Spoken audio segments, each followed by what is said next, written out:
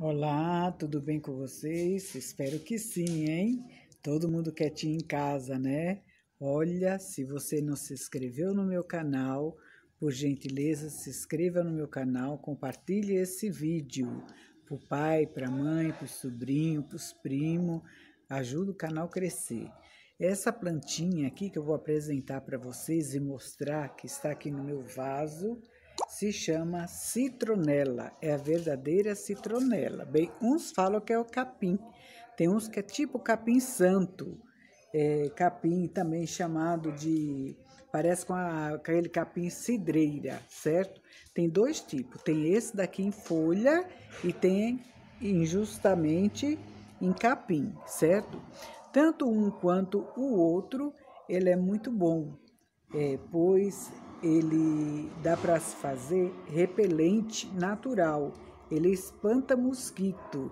Sabe que aqui eu tinha uns mosquitinhos que aparecia e depois que eu plantei a citronela desapareceu na verdade. A citronela ela é fácil de plantar, tá? Eu comprei é, a mudinha e olha só o tamanho que ela já está.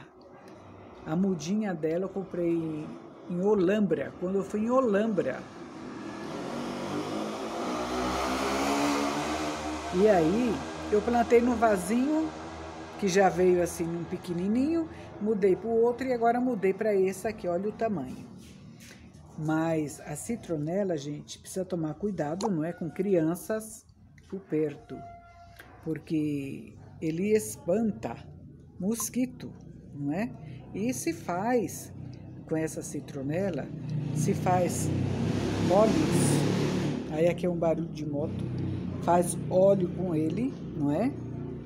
é faz colônia também, justamente para espantar mosquito. Não pode se fazer chá de maneira nenhuma, tá? Chá não pode, porque ele é um repelente, né? Que mata aí mosquito.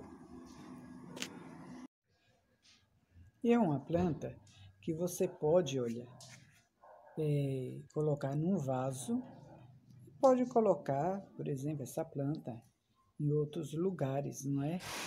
Aqui está do lado de fora, mas olha só como ela é bonita.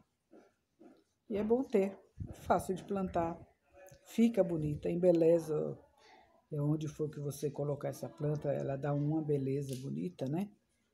E é uma coisa que eu não me arrependo de ter plantado aqui em casa. Pode plantar também, olha, em apartamento também está bem, não é? Eu espero que vocês tenham gostado e até o próximo vídeo.